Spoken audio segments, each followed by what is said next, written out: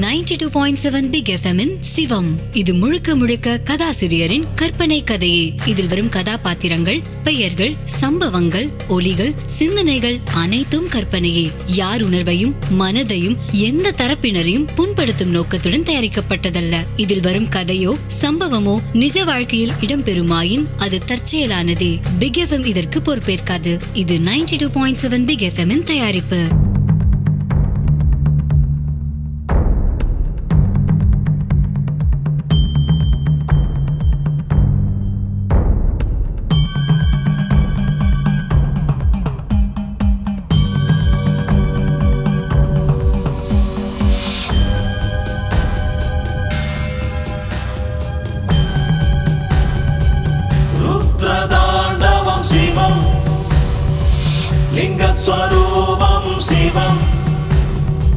மரகதலிங்கத்தில் சிவம். உலகமே சிவம். சிவம் சிவம். சிவம் சிவம். சிவம் சிவம். சிவம்.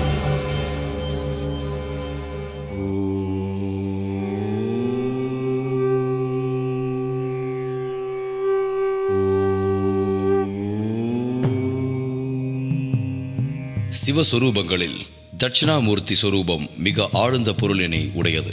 இந்த உலகை பற்றி கூறுகையில் இது ஒளியில் இருந்து தோன்றியது என்பார்கள். ஆச்சரியமான இந்த கருத்தை விஞ்ஞானிகளாலும் மறுக்க முடியவில்லை என்பதே உண்மை.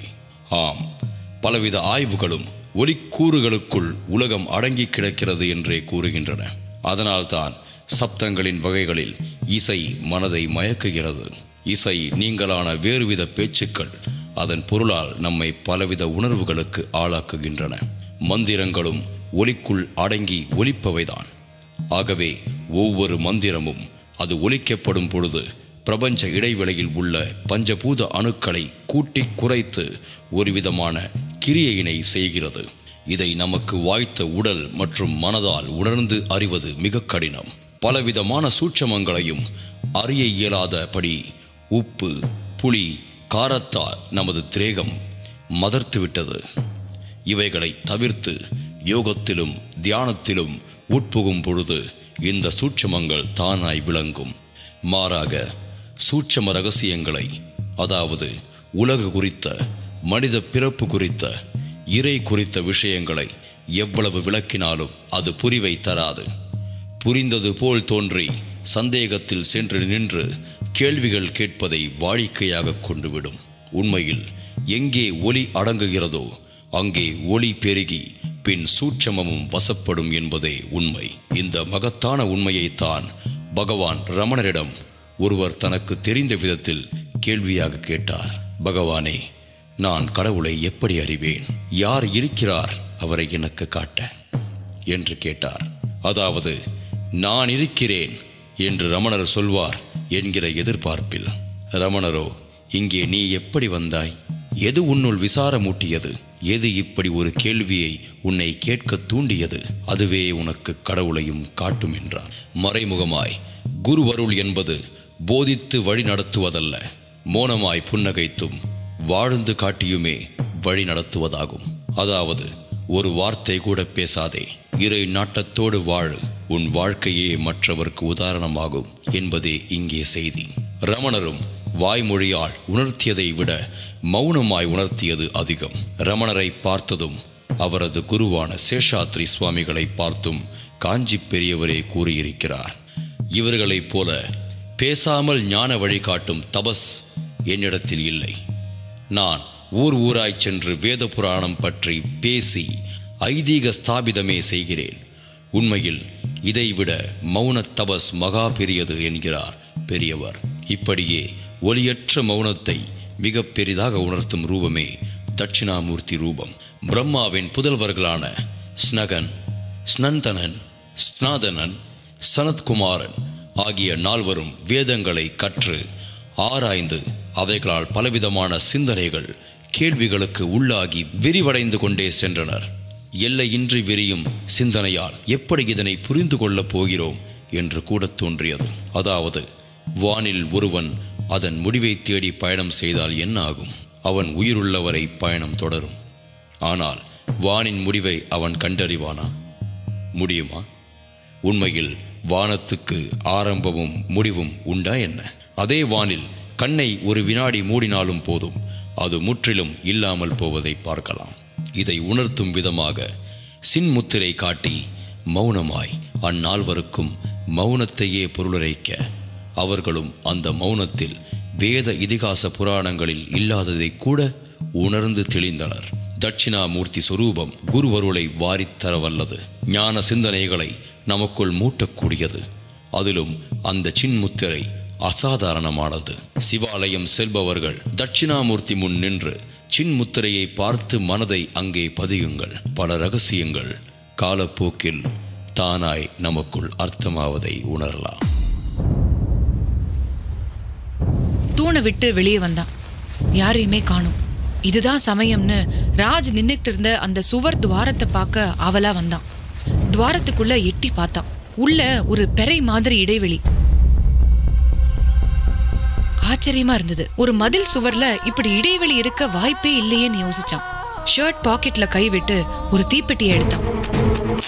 அதுல ஒரு குச்சியை உரசி மதில் சுவர துவாரத்துக்குள்ள விட்டு பார்த்தான். பச்சையா ஒரு ஒளி பந்து அவன் கண்ணுல பட்டுது. அப்படியே அதிர்ந்து போனான்.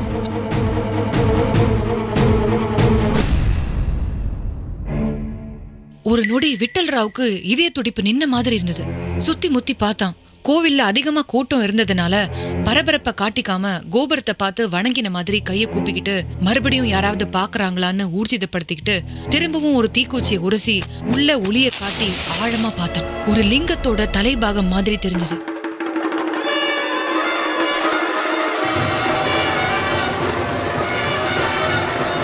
ஒரு க்ஷணத்துல அவனுக்கு குபீர்னு வேர்த்தது.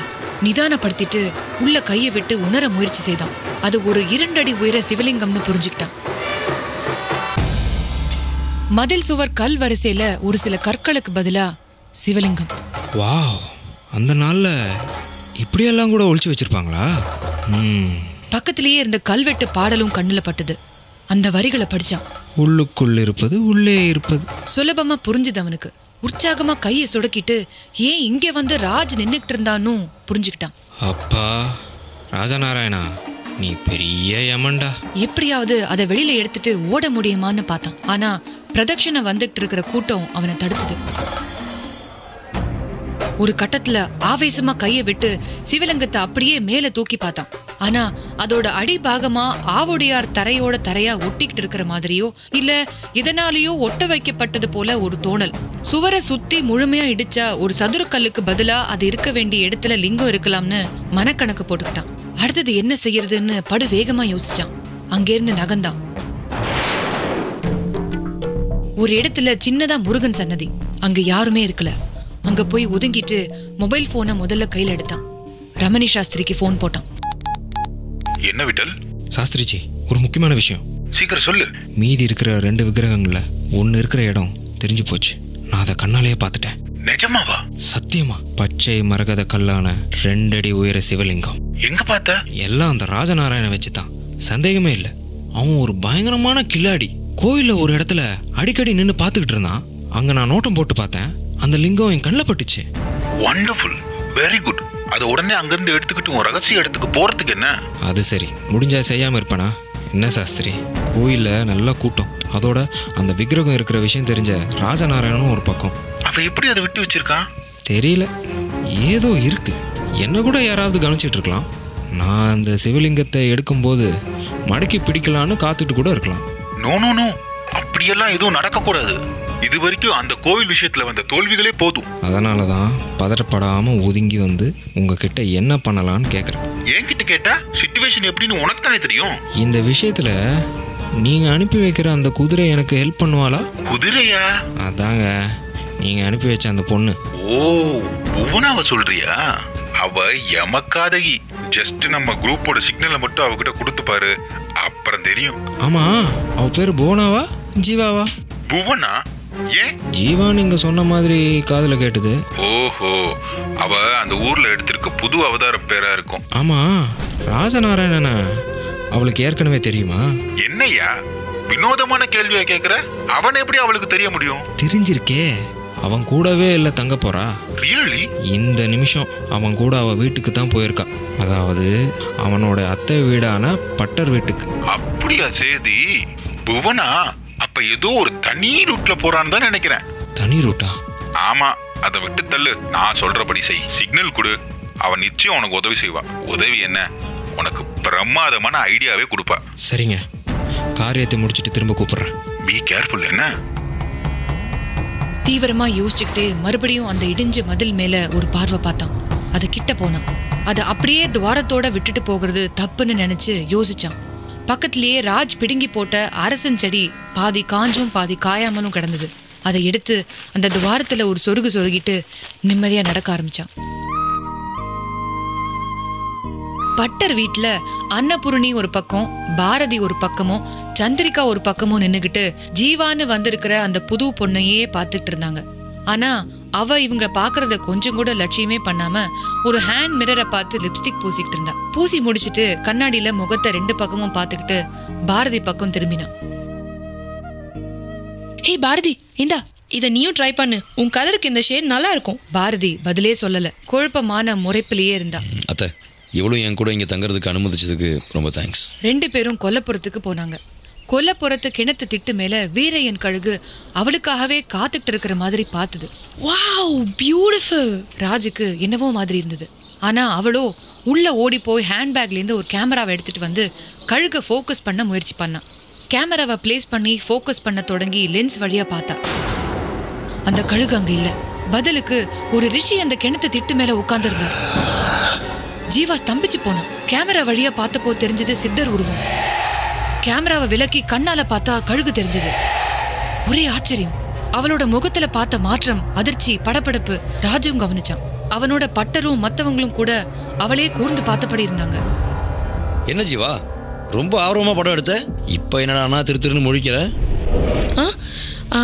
இல்ல இல்ல ஒன்றும் இல்ல. ராஜ் இப்போ இங்க யாராவது ஒரு ஓல்ட் மேன் உட்கார்ந்துருந்தாரா? ஓல்ட் மேன் ஆமா. தாடி மீசையோட லைக் ஒரு கோமணம் கட்டிட்டு பிச்சைக்காரனாட்டம்? என்ன வளர்ற ரெண்டு பேரும் ஒன்றா தானே இங்கே வந்தோம். இதோ சுற்றிலையும் இவ்வளோ பேர் வர இருக்காங்க. அப்படி இருக்கும்போது பிச்சைக்கார மாதிரி ஒருத்தன் எப்படி வர முடியும்? அப்படியா? ஐயோ ஐம் so சாரி நான் தான் ஏதோ கொஞ்சம் கன்ஃபியூஸ் ஆயிட்டம் போல தெரியுது. ஆமா இந்த கழுகு? இது இந்த ஊர் கழுகு தான் ரொம்ப கேஷுவலா எப்படி இங்க வந்து உட்காந்துருக்கு என்ன கேட்டா? என் அத்தின் பேரை கேளு. அவர் தானே இந்த ஊருக்காரரு? இந்த கழுகு பத்தி தெரிஞ்சுண்டு என்ன பண்ண போற? என் பொண்டாட்டி தினம் சோறு போடுவா. அதுக்காக வரும்னு வச்சுக்கோயேன். வேண்டா வெறுப்பா பதில் சொன்னார் பட்டர். கழுகு காக்கா மாதிரி சோறு சாப்பிடுமா என்ன? இது சைவ கழுகு ஜீவா. ராஜ் பதில் சொல்லிட்டு வேகமா சிரிச்சான். ஆனா அவளால சிரிக்கவே முடியல. கேமரா வழியா பார்த்த அந்த சித்தர் முகம் அவளுக்குள்ள ஆழமா பதிஞ்சு போயிருந்தது. பாரதி பார்த்துக்கிட்டே நின்னா. சந்திரிகா பாரதி பக்கம் வந்து பாரதி காது கடிச்சா. என்னக்கா அத்தா ரூட் மாறுற மாதிரி தெரியறதே. ஏய் வாய மூடுடி. ஜாக்கிரத. நீ இப்படியே சிறு சிறுன்னு இருந்தா அவ குத்திட்டு போயிடுவா. உன்னை விட செவப்பா தலை தலைன்னு வேற இருக்கா. தஸ் புஸ்ன்னு இங்கிலீஷ் எல்லாமும் பேசுறா. இப்ப நீ வாய மூட போறியா இல்லையா? இப்ப என்ன பண்ண போற? இங்கேயே நின்னுண்டு அவ பேசுறத ஒட்டு கேட்க போறியா? சந்திரிகா பதிலுக்கு பதில் பாரதிய வெறுப்பேத்த அன்னபூரணியும் பட்டர் கிட்ட முணுமுணுத்துக்கிட்டே இருந்தா. ஏனா இப்படி எவ்வளையோ ஒருத்திய கூட்டிட்டு வந்திருக்கானே. எத்தனை நாளைக்கு இருக்க போறாளாம்? யாருக்கு தெரியும்? ஊருக்கு போறேன்னு சொன்ன உடனே தீட்சதரும் இன்ஸ்பெக்டரும் மடக்கி தடுத்துட்டா. நானும் இவன் தங்க மாட்டான் ஓடிடுவான் தான் நினைச்சேன். ஆனா போன மச்சான் திரும்பி வந்தான் பூமணத்தோடங்கிற மாதிரி இந்த குட்டியும் வேற கூட்டிட்டு வந்து நிக்கிறான். எனக்கு என்னமோ அவளை பார்த்தா நல்ல பொம்மநாட்டி மாதிரியே தோணல. பொம்மநாட்டி எங்கேயாவது பேண்ட் போடுவாளா? அடிப்பொடி பைத்தியம். அதையாவது அவ போட்டுட்டு இருக்காளேன்னு நான் நினைக்கிறேன். நீ என்னன்னா? சரி சரி. இவளுக்கு சாப்பாடு நம்ம ஆத்துல தானா? வேற வழி? இந்த கிராமத்துல என்ன ஹோட்டலா இருக்கு? போய் சாப்பிட்டுக்கோன்னு சொல்றதுக்கு. என் தொலை எழுத்து. மகாராசன் எந்த வேலையில ஊருக்குள்ள காலடி எடுத்து வச்சானோ. ரெண்டு பேருமே சலிச்சுக்கிட்டு விலக பட்டர் தோட்டத்து புறம் பார்த்தப்போ மதில் சுவர் மேல வீரையன் உட்கார்ந்திருந்தது. கோவில்ல இருந்து இது இந்த பொண்ணை தொடர்ந்து வர்றது. ஏதாவது காரணம் இருக்குமோ? மனசுக்குள்ள கேள்வியை கேட்டுக்கிட்டு ஒரு சில வினாடி கண்ணை மூடிக்கிட்டு யோசிச்சார். கண்ணை திறந்து பார்த்தப்போ மதில் சுவர் மேல கால ஆட்டியபடி கோமணத்துடன் அந்த சித்தர் ஜீவா வர்ணிச்ச அதே உடை உருவ அமைப்புல பட்டருக்கு ஒரு வினாடி திக்கி திணறியது. அண்ணா செத்தங்க வா. ஓடி வா. வந்து பாரு. அவளும் ஓடி வந்தா. அந்த நொடி அந்த கழுகு சரையில வானம் எழும்பி பறந்தது. என்னன்னா வீரையன் பறக்கிறத பார்க்கவா கூப்பிட்டேள்? ஆனா பட்டர் கண்ணுக்கு சித்தரே ஆகாயத்துல எழும்புற மாதிரி இருந்தது. இல்ல அது வீரம் இல்ல. அது அது அது அந்த சித்தர் அண்ணோ. சித்தர். சித்தரா? என்ன நான் சொல்றேன் ஐயோ உன் கண்ணுக்கு எதுவும் தெரியலையா? இல்லையே இன்னைக்கு கழுகு தான் தெரிஞ்சது. ஐயோ அப்படியா? என் கண்ணுக்கு அந்த சித்தர் தெரிஞ்சாரே? அந்த பொண்ணு கூட கேட்டாலே. உண்மையாவானா? கொஞ்சம் தெளிவா சொல்லுங்களேன். ஆமாண்ணோ. வீர என் கழுகு இல்ல. அது சித்தர். அந்த இடிஞ்ச கோவில்ல சமாதி ஆயிட்டதா சொல்லுவாளே. அந்த சித்தர். இப்பதான் நான் தெரியறது. அந்த சித்தர் கழுகா இருக்கார். அப்படியா? இது எப்படி நான் சாத்தியம்? சாத்தியம் இல்லாமலா கழுகு மனுஷனானது? என் கண்ணுக்கு மட்டும் அந்த கழுகு எப்படி தெரிஞ்சுது? பட்டர் உடம்பு பரவசத்துல நடுங்கி போச்சு. கொல்லப்புறத்துல ராஜும் ஜீவாவும் உற்சாகமா பேசிட்டு இருந்தாங்க. இங்கே வந்ததுல இருந்து நடக்கிற ஒரு விஷயம் கூட நம்பும்படியாவே இருக்காது ஜீவா. நீ கேட்டால் நான் உன் காதில் பூ சுத்துற மாதிரியே நினைப்பேன். எனக்கும் சமயங்களில் ஏன் இங்கே வந்தோன்னு இருக்கு. நம்ம பேரண்ட்ஸ் அடிக்கடி எல்லாம் தலையெழுத்து எல்லாம் தலையெழுத்துன்னு சொல்லுவாளே. நீ கூட கேள்விப்பட்டிருப்பியே? ஆமா அதுக்கு என்ன? அது உண்மையாக இருக்குமோன்னு நான் நினைக்க ஆரம்பிச்சிட்டேன்னா பார்த்துக்க ஒரு பொய்ய பத்து பேர் ஒத்துக்கிட்டு ஃபாலோ பண்ணா அதுவும் உண்மையாயிடும். இது ஒரு தியாரி படிச்சிருப்பியே? ஞாபகம் இல்ல? ம். சொல்லு. அப்படிதான் நீ சொல்றதும் இருக்கு. தொடர்ச்சியா நம்ப முடியாத விஷயங்கள் சில சமயங்கள்ல நடக்கிறது உண்டு. அப்ப நம்ம புத்தியே ஒரு வித மயக்கத்திலையும் தயக்கத்திலையும் சுத்தி நடக்கிறதுல இருக்கிற சயின்ஸை பார்க்காம அம்மானுஷமா அதை நினைக்க ஆரம்பிச்சிடும். அப்படிங்கிறியா? வேற என்ன சொல்ல? சரி ரீஇன்கார்னேஷன் பற்றி என்ன நினைக்கிற நீ? இருக்கிற குழப்பத்துல அது வேறயா? ஐயோ ஆமாம் அந்த கோவிலுக்கும் இடிஞ்ச கோவிலுக்கும் போனாலே நான் ஒரு சிற்பி ஆயிடுறேன்னா பார்த்துக்கேன் யூ மீன் என்னத்த சொல்ல? என் பேரு நாராயண அழகன்னு மாறிடுது. சினிமா ஃப்ளாஷ்பேக் மாதிரி பழைய காலம் அப்படியே பிக்சர் ஆகுது. ஆனா அதுலயும் ஒரே ஒரு ஆறுதலான விஷயம் ஒன்று இருக்கு. என்ன அது? அப்போவும் நான் சாமி இல்லைன்னு சயின்ஸ் பேசுறேன். அப்படின்னா டெஃபினட்டா உனக்கு மென்டலா ஏதோ ப்ராப்ளம்டா யூ மீன் ருத்ரன் பழனிவேல் மீரா ஹெலன்னு யாராவது சைக்காட்ரிஸ்ட போய் பாரு. இத கஷ்டமான ஒரு இங்கிலீஷ்ல ஃபோபியா லிஸ்ட்ல தான் வைப்பாங்க. நானும் அப்படிதான் நினைச்சேன். விட்டா போதுன்னு ஓட தான் விரும்பினேன். ஆனா யாரோ ஒரு எக்ஸ் குரூப்பான் அவங்க டார்கெட்ல இந்த கோயில் இருக்கான் பர்டிகுலராக நான் இருக்கேனா. ஆகையால இந்த இன்ஸ்பெக்டர் குமாரவேலில் இங்கேயே இருன்னு என்னை ஸ்டாப் பண்ணி வச்சிட்டாரு. பத்தாவது வரைக்கும் நீ வேற வந்துட்ட. ராஜ் குரல்ல வருத்தம். ஜீவாவை அவன் சொன்னதை யோசிக்க வச்சது தீவிரமான யோசனை. என்ன ஜீவா என்ன யோசனை? ம் ஒன்றும் இல்லை. ஹே கமான் என்னவோ பெருசாக திங்க் பண்ணுற நீ. ம். எஸ் நான் உன்னை சில கேள்விகள் கேட்கலாமா எப்படி? கேஷுவலாவா இல்லை ஒரு ஜேர்னலிஸ்ட்டாக இன்டர்வியூ பண்ண போறியா? டூ அண்ட் ஒன்னு தான் வச்சுக்கோயேன் ம் சரி கேளு. நிஜமா சொல்லு இந்த ஊருக்கு நீ உன் அத்தை பொண்ணதா பார்க்க வந்தியா? ம் பார்க்க மட்டும் இல்லை. கல்யாணமே பண்ணிக்க. அவரோட ஸ்டேட்ஸுக்கு திரும்புறது தான் என் பிளானே அப்ப நீ கண்டுபிடிச்ச அந்த நடராஜர் சிலை? நான் எங்கே கண்டுபிடிச்சேன்? லவ் பண்ணும்போது கோவிலை மூடிட்டாங்க. இது தெரியாமல் ரெண்டு பேரும் சொல்லு விட்டுக்கிட்டு கோவிலே இருந்துட்டோம். அப்போ தான் அந்த விக்கிரகம் கண்ணில் பட்டுது. அது எப்படி? யார் கண்ணிலையும் படாதது உன் கண்ணில் மட்டும் படும்? ம் நான்சென்ஸ் நான் கோவிலை விட்டு தப்பிக்க ஷார்ட் அவுட் தேடினேன். அப்போ பார்த்து நாய் வேற துரத்தவும் ஒரு இடத்துல போய் ஒளிஞ்சேன். அப்போ தான் கண்ணில் பட்டுது. நிஜமாவா? என்ன நீ? உங்ககிட்ட எதுக்கு நான் போய் சொல்லணும்? இல்ல என் பத்திரிகை ஆசிரியருக்கு வந்த தகவல் படி நீ இந்த ஊர்ல இருக்கிற சிலைகளை கடத்த வந்தவன்னு ஒரு டாக் இருக்கு. அதான் அப்படி கேட்டேன். அட கொடுமையே. இதை பாரு ஜீவா என் சூட்கேஸ் திருட்டு போயிடுச்சு. அதில் தான் என் பாஸ்போர்ட்டு க்ரீன் கார்டு இந்த விசா டாலர்ஸ்லாம் இருக்குது அது இல்லாமல் நான் பட்ட பாடு கொஞ்சம் நஞ்சம் இல்லை. சி இப்படி அத்திம்பேர் வேஷ்டியை கட்டுற ஆளா நான் இப்ப அதுக்கு என்ன என் சூட்கேஸ் திருட்டு போய் நான் டூப்ளிகேட் ரெடி பண்ண ஊருக்கு கிளம்பிட்டேன். என் அத்திம்பேர் கிட்ட கேவலமாக இருநூறு ரூபாய் இருந்தால் கொடுன்னு கேட்க வந்தேன். இருபதாயிரம் டாலர் சம்பாதிக்கிற நான் இருநூறு ரூபாய்க்கு கோயிலுக்கு வந்தேன். அப்போ தான் உன்னை பார்த்தேன். இப்போவும் சொல்கிறேன் என்னை வண்டி ஏற்றி விட்டுறேன்னு சொல்லு ஓடி போயிடுறேன். போக முடியாமல் நான் இங்கேயே இருக்கிற மாதிரி வச்சு கண்ணா பின்னான்னு கெஸ் பண்ண ஆரம்பிச்சிட்டிங்களா? அப்போ உன் சூட்கேஸ் கிடைச்சா நீ கிளம்பிடுவியா? ஒரு நொடி கூட இங்கே இருக்க மாட்டேன். இதை பாரு ஜீவா உன் பத்திரிக்கை ஆசிரியர்கிட்ட சொல்லு. நான் எதையும் தேடி வரல. நான் ஒரு அப்பாவின்னு சொல்லு. ராஜ் நிஜமாவே ரொம்ப நொந்து போய் பேசினான் இதை கேட்டுட்டு இருந்த பாரதிக்கோ என்னவோ செஞ்சது. எவ்வளவோ சொல்லியும் கேட்காம வாசல்புறம் திண்ணையில போய் படுத்துக்கிட்டா ஜீவா. துணைக்கு ராஜும் போய் படுத்துக்கிட்டான். பாரதிக்கு பக்குன்னு இருந்தது. தூக்கம் வராம புரண்டு புரண்டு படுத்துக்கிட்டு இருந்தா. அப்போ அந்த நிசப்தத்துல மொபைல் ஃபோன் அடிச்சது.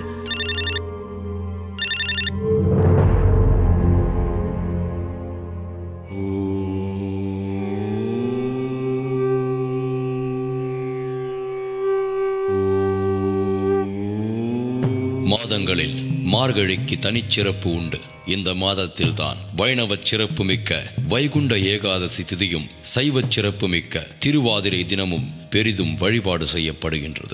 மாதந்தோறும் ஏகாதசியும் திருவாதிரையும் வந்தாலும் மார்கழியில் மட்டும் அது சிறப்பாக கருத பல நுட்பமான காரணங்கள் உள்ளன. நாள் கிழமை மாதம் என்கிற பொழுதுகளின் அடையாளங்களை எடுத்துவிட்டால் என்னாகும்? என்று ஒரு சிறு கற்பனை செய்து பாருங்கள். உலக இயக்கமே ஸ்தம்பித்து போய்விடும். யாருக்கு எவ்வளவு வயது என்பதில் இருந்து வாடகை தருவது வட்டி தருவது என்கிற பொருளாதார செயல்பாடுகள் வரை சகலமும் ஸ்தம்பித்து குழப்பமும் மிகுதியாகிவிடும். இந்நிலையில் நில்லாமல் ஓடிக்கொண்டிருக்கும் காலத்திற்கு ஒரு அடையாளம் தேவைப்பட்டது. அந்த அடையாளத்திற்கு ஒரு காரணமும் தேவைப்பட்டது. கருப்பான மனிதனை கருத்த ஆசாமி என்றும் உயரம் குறைந்தவனை குட்டையன் என்றும் அழைக்கிற மாதிரி நாள்களையும் அதற்குண்டான காரண காரியங்களை ஆராய்ந்து அதற்கேற்ப அடையாளங்களை அவைகளுக்குள் உருவாக்கினார்கள். இந்த காலம் என்பது நில்லாமல் செல்லும் ஒரு நேர்கோடு போன்றது என்றே முதலில் கருதப்பட்டது. ஆனால் தவறு என்று உணர்ந்து அது ஒரு வட்டம் என்று கொள்ளப்பட்டது. வட்டத்தில் தான் நாம் ஒரு முழு சுற்று சுற்றிய நிலையில் சரியாக ஏறிய இடத்திற்கே வந்திருப்போம். பொழுதுகளையும் கூர்ந்து கவனித்து பாருங்கள். கிழக்கு அடிவானில் காலை ஆறு மணிக்கு தெரியும் சூரியன் திரும்ப அதே இடத்தில் மறுநாள் ஆறு மணிக்கு தெரிகிறான் என்றால் கால பயணம் என்பது வட்டமானதாக இருந்தால் அல்லவா இது சாத்தியம்? இப்படி பார்த்து பார்த்து தெரிந்து கொண்டவைகளில் மேலும் பல நுட்பங்கள் தெரிய வந்தன. அதன்படி வானில் நிகழும் கிரகங்களின் சஞ்சாரங்கள் பயணங்களுக்கேற்ப பூமியில் பொழுதுகளின் காற்றாலை வரிசையில் இருந்து ஒளி அலை மின்காந்த அலை மற்றும் பற்பல விதமான அலைவரிசைகளில் மாறுதல்கள் நிகழ்ந்து கொண்டே இருக்கின்றன என்பதே அது. அந்த மாறுதல்களை உணர்த்தும் காலவட்ட பயணத்தை கச்சிதமாய் அது எங்கு நிகழும் என்பது தெரிந்தும் என்று நிகழும் என்று உணர்ந்தும் வகுத்தவைதான் திதிகள் ஹோரைகள் ராகு கால யமகண்டம் அமிர்த நாழிகை நேரங்கள். அதாவது ஒருவர் ஐப்பசி மாதம் கேட்டை நட்சத்திர நாளன்று மாலை ஐந்தரை மணிக்கு பிறக்கிறார் என்றால் அவர் பிறந்த அதே நொடிப்புள்ளி சரியாக ஒரு ஆண்டு கழித்து திரும்ப வரும். அவரும் வாழ்வில் ஒரு சுற்று எனும் வயதை கடந்திருப்பார். அதே சமயம் தான் பிறந்த வேளைக்கு ஆசிகளால் பலம் சேர்த்து கொண்டு அடுத்த சுற்றை தொடங்கும் போது கால நேரங்கள் நமக்களிக்க தயாராக உள்ள நன்மைகளை நாம் பயன்படுத்திக் கொள்ள தெரிந்தவர்களாவோம். இந்த கால நேர ஞானப்படி ஏகாதசி திதியை பார்த்தால் அன்று ஒரு அதிசயம் நம் உடலில் நிகழ்கிறது. அதாவது நமது சரீர சுரப்பிகள் அன்று தேக ஆரோக்கியத்திற்கு எதிராக ஒரு திரவத்தை அதிகம் சுரக்கச் செய்கின்றன. வாயில் எச்சில் சுரப்பது போல் இப்படி சுரக்கும் திரவம் உணவு செரிக்கப்படும் போது உருவாகும் உடற்கிரியையால் அந்த உணவில் கலந்து பின் இரத்தத்தில் சேர்ந்து உடம்பெங்கும் பயணமாகி எலும்பறைகள் என்னும் மூட்டுக்களின் உள்ள சக்தி பசையையும் ஒரு ரசாயன திரவம் போல கரைத்து விடுகின்றது. எனவே அன்று விரதம் இருந்து இரத்த ஓட்டத்தின் வீரியத்தை குறைத்துவிட வேண்டும். பின் மறுநாள் துவாதசி திதியில் அதே சுரப்பிகள் அமிர்தத்திற்கு இணையான திரவத்தை சுரக்கின்றன. அப்படி சுரக்கும் திரவம் உடம்பில் ஒட்டி நோய் எதிர்ப்பு திறன் உடையவர்களாய் நாம் திகழ வேண்டி துவாதசி அன்று நெல்லி அகத்தி இஞ்சி முதலியவைகளை அன்றைய உணவில் சேர்த்துக் கொள்கிறோம். எவர் ஒரு ஏகாதசி விரதம் இருந்து அன்று உணவு உட்கொள்கிறாரோ அவர் நூறு ஆண்டுகள் ஆரோக்கியமானவராக மருத்துவரையே சந்திக்காமல் வாழக்கூடியவராய் இருப்பார். அத்துடன் மார்கழியில் உதய காலத்தில் ஓசோன் வாயுவுடன் பல ஜீவ வாயுக்கள் இயற்கையாகவே மிகுதியும் தோன்றுவதால் அதிகாலை வேளையில் எழுவது தொழுவது ஒரு சிறந்த பயிற்சியாகிறது. இது அப்படியே திருவாதிரைக்கும் பொருந்தும். அன்றுதான் ஈசன் நடராஜ மூர்த்தியாய் களி நடனம் புரியும் நாள். நடனம் என்பது ஒரு கலை செயல். கண்ணையும் கருத்தையும் கவரவல்லது. காண்பவர் மனதுக்கும் பலவித சிந்தனைகளையும் ஆனந்தத்தையும் தரக்கூடியது. அதாவது நம்முள் சந்தோஷம் மற்றும் புதிய எண்ணங்கள் உருவாகும். நடராஜ நடனமும் உலகில் பல புதியவைகளை உருவாக்குகிறது. அதாவது அவன் நடனமே உலகின் இயக்கம். இந்த உலகம் ஆனந்தமாய் இயங்க ஆனந்த தாண்டவம் புரிகிறார் அந்த மூர்த்தி. அந்த மூர்த்தியை தரிசிக்கையில் நம்முள்ளும் பிரபஞ்சம். அதில் வாழும் உயிர்கள் அதன் இயக்கம் வாழ்வு மறைவு போன்ற சகலத்தையும் பற்றிய எண்ணமும் தாக்கமும் ஏற்பட்டு இறுதியில் நான் யார் என்ற கேள்வி வந்து நிற்போம். நடராஜரே நான் யார் என்கிற ஞான விசாரத்தை நம்முள் உருவாக்குபவர். நான் யார் என்பது தெரிந்துவிட்டாலோ புரிந்துவிட்டாலோ எது முக்தி எது மோட்சம் என்பது வரை எல்லாம் தெளிவாகிவிடுமே. सहस्रदाण्डवं शिवं लिङ्गस्वरूपं शिवं मर्गदलिङ्गत्यं शिवम् उरगमे शिवं शिवं शिवं शिवं शिवं शिवं शिवं शिवम्